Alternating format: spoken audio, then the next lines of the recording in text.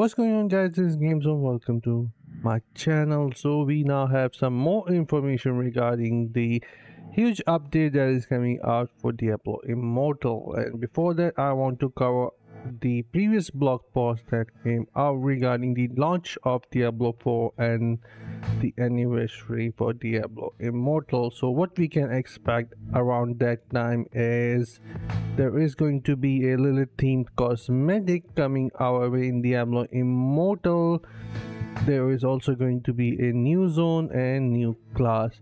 Most likely this is going to happen i mean the new zone and class is going to happen after the anniversary of diablo immortal. But at the launch anniversary i mean at the launch day of diablo 4 and the anniversary of diablo immortal we are most likely going to see shava coming our way in diablo immortal as a raid boss and datamine arpg has confirmed that he will have all his attacks from the diablo 4 also he mentioned that this is most likely going to be a limited time. Event so make sure that you guys do not miss uh, defeating Shava because these rewards might be unique or maybe I really cannot say but the reward should be good if he is, is making his way to Diablo Immortal. Then what we can expect at the time of Battle Pass 14 there is going to be a Children of Lilith Battle Pass. So the theme is related is going to be related to Lilith that we will see in Diablo Immortal. Among with that we are going to see Hatred Heritage Phantom Market which will be making its way again to Diablo Immortal at the same time of Battle Pass 14.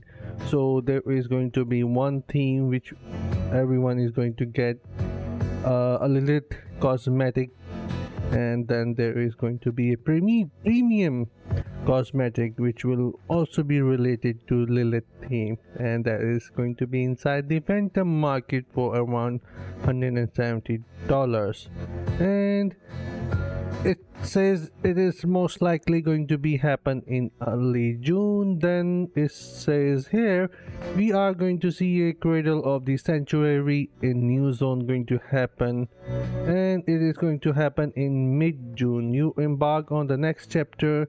So there is going to be a new quest line new PvP zone event side quests bounties enemy ties along the way. And I can pretty much tell that we will be seeing new Paragon caps, new Paragon trees going to happen and with that there is also going to happen is new upgrade levels to our gears because uh, Datamine ARPG also confirmed that there are going to be six or five new raid bosses making its way very soon to Diablo Immortal. And then here we are going to see finally a new class blood knight. I think they have changed the name of blood knight to something else i really don't remember but he is also going to make his way in july yep he is going to make his way in july so the next class is not happening at the launch i mean at the anniversary of Diablo Immortal. here is says that we can't wait for you to resume this new fantasy in July. So we right now is May and then making some connection to the new blog post that just came out we are going to get the new uh, event that is going to happen for almost until the end of July 16 so what we are going to see we are going to get is dreadful Greymage limited time event which is going to last till July 16 and that is what I am guessing when we unlock the new class at July 16 and along with that we will get a new zone as well. So in this event what we are getting is you you your travels have taken you to the ruins of once magnificent chapel after stepping inside. So basically, I guess the zone will come early and the class will come later. The handful of demons rush through the shadows, weapons ready, and take a swing at you. Through a flurry of expertly placed counter strike, you send the minions of hell crashing to the ground, lifeless, catching your breath, blah blah blah. So, what's going to happen on from June 1 at 1 am, August till August 2? Okay, server time. You can complete a challenge for each window and the statue. Doing so will purify that object, earning you long forgotten rewards and vision for telling sanctuary future which will be for the new class that is my guess so the leftmost window challenge become available to complete starting on June 1. Defeat 10 elite enemies. Okay, that's super easy. Then what's the next challenge is on June 8th. Is so these challenges are going to happen every single week. So June 8th server time defeat Shava. So my guess was right. Shava is going to happen on the anniversary and the launch of Diablo 4 defeat Shava once. So we have to defeat Shava once on June 8th. So basically Shava will be making his way to Diablo Immortal on June 2 or maybe he will be unlocked at June 8 and that is when we have to defeat him. Then the near right window challenge become available to challenge to complete starting on June 15 server time complete the challenge rift. Very easy. And june 28th am server time. Defeat any reliquary boss on any level. All right when it says that defeat any reliquary boss and they do not mention shava as reliquary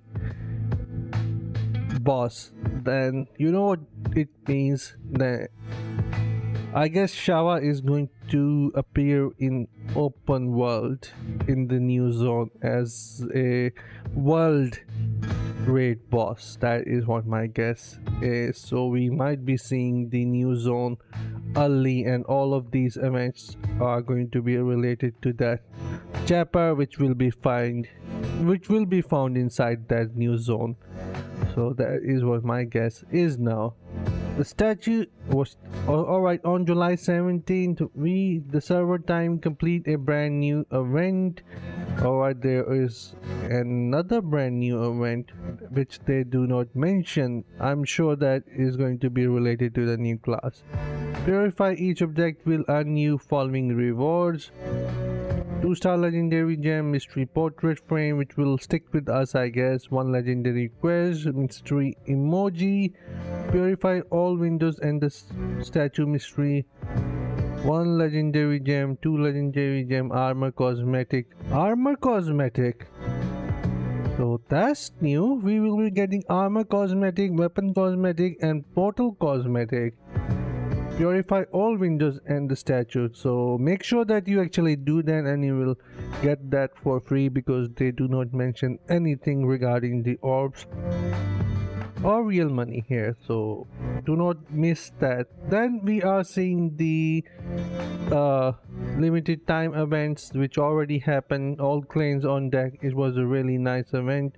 Hungering moon making its way again. Shady stock is the all right event which i like uh, it should happen a lot as well.